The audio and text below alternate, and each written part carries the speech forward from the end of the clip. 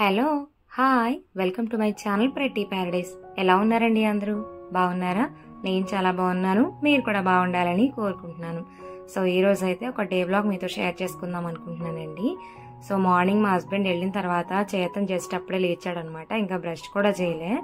ఇంకా రాయడం మొదలు పెట్టేశాడు. మా ఇంట్లో పెన్స్ చాలా ఎక్కువగానే ఉంటాయి. మా హస్బెండ్ కూడా ఎక్కడ పెడితే అక్కడ పెడతానే ఉంటారు అనమాట వీడికి అందుబాటులో ఉండాలని కొంత ఈ మధ్య ఇంకా ఎక్కువ పెడుతున్నారు పెన్స్. వీడేం చేస్తున్నాడంటే దొరికిన చోటల్లో రాస్తూ ఉంటాడు. ఇంతకుముందు పేపర్ల మీద కింద ఫ్లోర్ మీద రాసేవాడు. ఇప్పుడు కొత్తగా బెడ్షీట్ల మీద రాయడం స్టార్ట్ చేశాడు అనమాట నాకైతే అవన్నీ ఏం పోవు కదా అబ్బా అనిపిస్తుంది. కాకపోతే ఏంటంటే పిల్లలు ఈ టైంలో స్క్రిబ్లింగ్ చేస్తున్నప్పుడు మనం ఎంకరేజ్ చేయాలి. అప్పుడే వాళ్ళకి ఫైన్ మోటార్ స్కిల్స్ డెవలప్ అవుతాయి. దాంతోపాటు ఎడ్యుకేషన్ పట్ల అలాగే రైటింగ్ పట్ల ఇంట్రెస్ట్ ఏర్పడుతుంది అనమాట సో ఇంకా సైంటిఫిక్గా ఆ విషయం తెలిసి ఇంకా నేనైతే ఇంకేం చేయలేకపోతున్నా. నేను కూడా టీచర్ ట్రైనింగే చేశాను కాబట్టి నేను అలాంటి వాటిని ఎక్కువ ఎంకరేజ్ చేయాలని మైండ్ ఒకటి చెప్తుంది కదా. సో అదేమో ఒకవైపు లాగుతుంది ఒకవైపు ఏమో క్లీన్గా ఉండట్లేదు ఎక్కడ పడితే అక్కడ రాసేస్తున్నాడని ఇంకొక వైపు పుల్ చేస్తుంది అనమాట మైండ్ రెండు వైపులా పనిచేస్తుంది కాకపోతే మెజారిటీ ఏంటంటే వాడి డెవలప్మెంట్ ఇంపార్టెంట్ కాబట్టి సర్లే ఫైన్ అని వదిలేస్తున్నా. మా హస్బెండ్ అయితే కూర్చోబెట్టి మరి రాయిస్తారనమాట డైలీ ఈవినింగ్ కూర్చొని మరి వాళ్ళు ఇంకా స్క్రిబ్లింగ్ చేస్తారు. అది కూడా మాది టైల్స్ కాబట్టి స్కెచెస్ ఉంటాయి కదా వాటిపైన రాస్తే వాటితో చాలా హ్యాపీ ఫీల్ అయిపోతాడు వీడు. అండ్ అవైతే ఈజీలేండి ఈజీగా క్లీన్ అయిపోతాయి కాబట్టి నాకు కూడా అది ప్రశాంతంగా అనిపిస్తుంది. బట్ ఈ మధ్య బెడ్షీట్ల మీద రాస్తున్నాడు అదే కొంచెం ప్రాబ్లమాటిక్గా అయింది. బట్ ఫైన్ ఇంకేం చేస్తాను చెప్పండి అదొక ఫేస్ కాబట్టి we have to go through it కదా. సో నెక్స్ట్ ఇక్కడ వచ్చేసి చేతన్కి అయితే నేను బ్రేక్ఫాస్ట్ మార్నింగ్ మా బ్రేక్ఫాస్ట్తో పాటు కుక్ చేసి పెట్టేస్తాను. కొంచెం చల్లగా అయిన తర్వాత అప్పుడు బనానా యాడ్ చేస్తాను అనమాట ఏదో ఏ ఫ్రూట్ ఉంటే ఆ ఫ్రూట్ ఒక్కొక్కసారి బనానా ఒక్కొక్కసారి పప్పాయ అలాగే ఏది ఉంటే అది. రోజైతే బనానానే యాడ్ చేశాను. సో ఈ మధ్య వాడు ఫుడ్ తినట్లేదు కాబట్టి ఫుడ్ కొంచెం ఇంట్రెస్ట్ చూపించడానికి నేను ఏంటంటే కుక్ చేసే టైంలో వాడిని అక్కడ ఉంచుతున్నాను. సో ఒక్కొక్కసారి ఏంటంటే ఒకవేళ కుక్ చేసేసిన దానిలో ఏదో ఒకటి మిక్స్ చేస్తాను కదా లైక్ బ్రేక్ఫాస్ట్ కానీ స్నాక్ కానీ ఏదైనా అయితే కొంచెం ఇలా ఏదైనా ఫ్రూట్ యాడ్ చేస్తా కాబట్టి ఆ ఫ్రూట్ యాడ్ చేసినప్పుడు ఇంకా వాడిని తీసుకెళ్ళి కొంచెం దాని గురించి ఎక్స్ప్లెయిన్ చేస్తూ కాస్త ఇంట్రెస్ట్ అయితే క్రియేట్ చేయడానికి ట్రై చేస్తున్నాను. సో ఇలా ఇంట్రెస్ట్ క్రియేట్ చేస్తే ఏంటంటే కొంచెం చూసి వాళ్ళకి ఆ హంగర్ అనేది కొంచెం అటాక్ అవుతుంది కదా. సో అదే ఏదో ప్రయత్నం అనమాట అంతే. తర్వాత వచ్చి ఇక్కడైతే ఏదో వాడితో ఆడుతూ ఫీడ్ చేస్తున్నాను. వీడికి ఇలాగా ఆడితే ఇష్టం అనమాట అంటే రెండు హ్యాండ్స్లో ఏదో ఒకటి పెట్టి థింగ్ మనం చూపించమంటే అంటే చూస్ చేసుకోమంటే చూస్ చేసుకుంటాడు. సో ఆ ఇంట్రెస్ట్ ఆ గేమ్ అంటే బాగా అలా కాసేపు ఆడించి ఏదో ఒక నాలుగైదు ముద్దలు తినిపించే అంతే. బట్ అది కూడా ఏం సరిగా తినలేదు. అంటే ఈ రోజు లేవడంతోనే ఏడుస్తున్నాడు అనమాట ఫీడ్ చేసేమని ఫీడ్ చేసేస్తే ఇంకా అసలు బ్రేక్ఫాస్ట్ చేయడు. ఇంకా అందుకే అవాయిడ్ చేసి కొంచెం వాటర్ ఇచ్చి అలా కొంచెం మేనేజ్ చేసి ఇంకా ఫస్ట్ అయితే ఇంకా బ్రష్ చేసేసి వాడు బ్రేక్ఫాస్ట్ పెట్టేశాను. ఇంక ఈరోజు మా బ్రేక్ఫాస్ట్ లాంటివి ఏం పెట్టలేదు. వాడు అసలు యాక్సెప్ట్ చేయలేదనమాట సర్లే అని పెట్టలేదు. తర్వాత ఇంకా నేను తినేటప్పుడు ఉప్మా అయితే ఇచ్చాను. సో ఇప్పుడు టైం అరౌండ్ నైన్ థర్టీ అలా అయిపోతుంది. సో అదేదో కొంచెం అలా టేస్ట్ చేయడం కింద పడేయడం చాలా దారుణంగా చేశాడు అనుకోండి. బట్ అలవాటు అవుతుంది కదా అన్నట్టుగా నేనైతే మెస్ క్రియేట్ చేసిన. ఇంకా ఏమైతే ఇంకా ఫీల్ అవునో ఇగ్నోర్ చేసేస్తాను. ఇంకా అలా మెస్ క్రియేట్ చేసి నేర్చుకుంటారు పిల్లలు. మనం ఇంకా దాన్ని ఖచ్చితంగా గోత్రూ అవ్వాల్సిందే. సో తర్వాత క్లీన్ చేసుకుంటాను అనమాట నెక్స్ట్ ఇంక వంట అయితే స్టార్ట్ చేసేసాను. టైం క్వార్టర్ టెన్ అలా అవుతుంది. సో ఇంక ఇక్కడ చూపించడం స్టార్ట్ చేశాడు అనమాట నాకు చుక్కలో. బ్రేక్ఫాస్ట్ అయ్యాక కాసేపు కొంచెం బాగానే ఆడుకున్నాడు. పైన నేను ఆ కౌంటర్ టాప్ దగ్గరే క్విక్గా పనులన్నీ చేసేసుకుంటాను. మీతో షేర్ చేసుకున్నా కదా. సో అలానే చిక్కుడుకాయలు అలవడం కానీ వెజిటేబుల్స్ కట్టింగ్ కానీ ఏదైనా సరే నేను కౌంటర్ టాప్ దగ్గర నించునే చేసేస్తాను కూర్చుంటే నాకు ఏంటో ల్యాగ్ అయిపోయినట్టు డిలే అయిపోయినట్టు అనిపిస్తుంది. సో అలా నించుని చేస్తే ఏంటంటే ఈరోజు ఏడ్ చేస్తున్నాడు ఎత్తుకోమని. ఎత్తుకొని చేయడం కష్టం అంట దాంతోపాటు గ్యాస్ దగ్గర అంత సేఫ్ కాదు కదా. ఇంకా అందుకే నేనైతే కూర్చుని వాడితో పాటు ఇంకా వాడికి కూడా ఇచ్చి చిక్కుడుకాయలు అవి వెళ్ళాను కానీ బట్ ఏం వర్కౌట్ అవ్వలా. ఇంకా అలా ఏదోలా మేనేజ్ చేసి ఇంకా కాసేపు ఊరుకోబెట్టా కానీ బట్ అస్సలు ఆగట్లేదు అనమాట వాటర్ వంపేస్తున్నాడు జారిపోతామని చెప్పినా వినట్లేదనమాట మళ్ళీ దానిపైన నడుస్తున్నాడు. ఇవాళ ఫుల్ టార్గెట్ చేశాడు నన్ను అయితే ఇలాంటప్పుడు అనిపిస్తుంది చిన్నపిల్లలతో ఒక్కళ్ళే అన్ని పనులు మేనేజ్ చేసుకుంటూ ఇలా ఒక వీడియో లాంటివి చేస్తూ ఇంట్లో వర్క్స్ చేయాలి టైం టు టైం అన్నీ కంప్లీట్ చేయాలి మళ్ళీ వాళ్ళ న్యూట్రిషన్ని బ్యాలెన్స్ చేయాలి మనం టైంకి ఫుడ్ తీసుకోవాలి ఇలా అన్ని రకాలు చేయాలంటే ఎంత కష్టం కదా అసలు. న్యూ మామ్స్కి మాత్రమే ఈ విషయం తెలుస్తుంది. వాళ్ళు మాత్రమే రిలేట్ అవ్వగలుగుతారు. పైపైన చూసే వాళ్ళు ఎవరికి కూడా తెలీదు.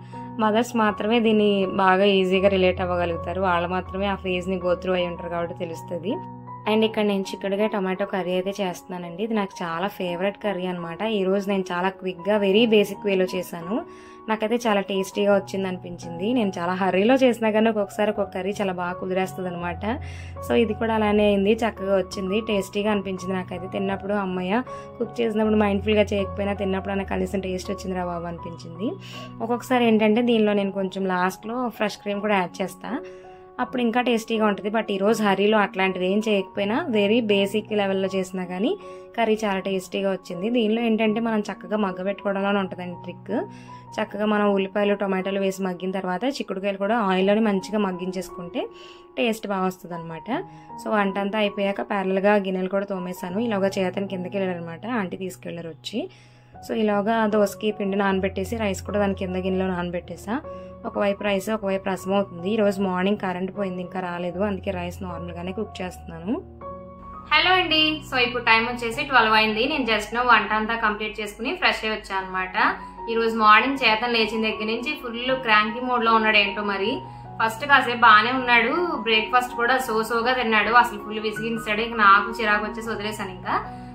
ఏదో అలా అలా తిన్నాడు అనమాట కొన్నిసార్లు అలా చేస్తాడు ఇంకా రైట్ లైన్ వదిలేసా బట్ తర్వాత నుంచి నన్ను ఏ పని చేసుకోనివ్వకుండా ఫుల్ ఏడడం ఎత్తుకోమనడం లేకపోతే ఏమో ఎత్తుకుంటేనేమో మళ్ళీ దించేమనడం ఏదో ఒకటి అడగడం మనది ఇవ్వకపోతే ఏడవడం అనమాట లేదంటే వాటర్ ఇమ్మంటున్నాడు కింద ఉంపేస్తున్నాడు మళ్ళీ జారిపోతాడని చెప్తుంటే వినట్లేదు. అసలు ఏంటో ఈరోజు ఫుల్ క్రాంకీగా బిహేవ్ చేశాడు. అసలు ఎంత ఏడ్చాడంటే గట్టి గట్టిగా ఏడుస్తున్నాడు. దెబ్బగా ఆంటీ కూడా కింద నుంచి పైకి వచ్చారనమాట అంత గట్టిగా ఏడుస్తున్నాడు.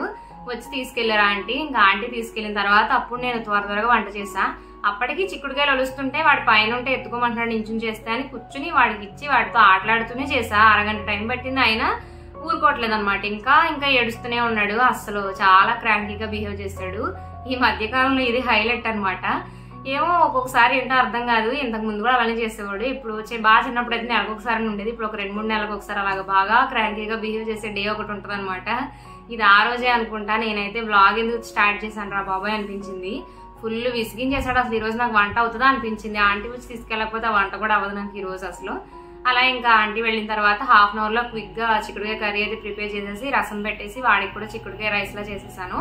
సో మార్నింగ్ ఈరోజు మార్నింగ్ ఎప్పుడో కరెంట్ పోయింది. ఎప్పుడంటే ఇప్పుడు ఫ్యాన్ వచ్చింది. సో ఈ రోజు మార్నింగ్ ఎప్పుడో కరెంట్ తీసాడు ఎయిట్ ఆర్ ఎయిట్ ఫిఫ్టీన్ ఆ టైం అవుతుందేమో అప్పటి నుంచి ఇప్పటికి కరెంట్ వచ్చిందనమాట. ఏమో మా ఇన్వర్టర్ కూడా ఆగిపోయింది. ఈ రోజు ఏంటో మరి ఆ క్రాంక్కి అలా బిహేవ్ చేయడానికి రీజన్ అదేనేమో. అంటే బాగా ఒక్కపోస్తుంది బాగా ఎండగా ఉంది కదా సో అందుక ఏమో తెలియలేదు కానీ ఈ రోజు అయితే చొక్కా చూపించాడు నాకు. బట్ ఫైనల్లీ ఎలా అయితే దేవుడి దయ వల్ల ఇంకా పని అయితే కానిచ్చేసా ఆంటీ దయ వల్ల తీసుకెళ్ళారు కాబట్టి ఇంక ఇప్పుడు ఇంకా రాలేదు వాడు. వచ్చేది వస్తే ఇంకా లంచ్ అయితే ఫీడ్ చేయాలి అన్ని పనులు అయిపోయాయి కదా. ఇంకా మా హస్బెండ్ కూడా ట్వెల్వ్ థర్టీ కల్లా లంచ్కి అయితే వచ్చేస్తారు.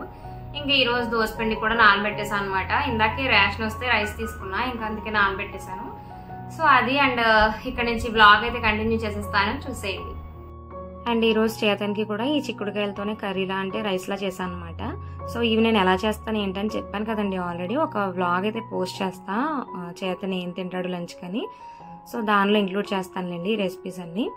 సో అలాగా కుక్ చేసేసి కొంచెం సాల్ట్ కొంచెం నెయ్యి యాడ్ చేసి పెట్టేస్తున్నాను అనమాట పల్లీలు కూడా అయిపోయింది. ఈ మధ్య నేను కొంచెం బిజీగా ఉండడం వల్ల నాకు చేయడం కుదరట్లేదు. సో చాలామంది వీడియోస్లో చూసి అస్తమానం పంక్చువల్గానే ఉంటారనుకుంటారు కదా అందుకే చెప్తున్నా. ఒక్కొక్కసారి మనకి వీలవదు అన్నిసార్లు మనం ఏం న్యూట్రిషియస్గా వండి పెట్టేయలేము. కొన్నిసార్లు అలా అవుతుంటుంది. నేను ఒక వన్ వీక్ నుంచి ఫుల్ బిజీగా ఉంటుంది నాకు అసలు టైం దొరకట్లేదు. సో ఇంక డే ఎలా అవుతుందో కూడా అర్థం కావట్లేదు అనమాట అందుకే నాకు అసలు చేయడమే కుదరట్లా. ఇంకా అలానే అయిపోయింది. సో ఆ టైంలోనే నేను ఈ వీడియోస్ కూడా షూట్ చేస్తాను వాడికి ఈ రెసిపీస్ ఏం ఫీడ్ చేస్తాను లంచ్ కని. ఏం చేస్తున్నాడు చూపిస్తాను రండి మీకు. ఏం తింటున్నావు నాన్న? నువ్వు అది ఏంటది? ఆమమ్మ ఎవరైనా వాటర్ మెలన్ తింటారు. మా వాడు వాటర్ మెలన్ సీడ్స్ తింటాడు. చూసారా? ఆ సీడ్స్ ఏరుకొని మరి తింటున్నాడు.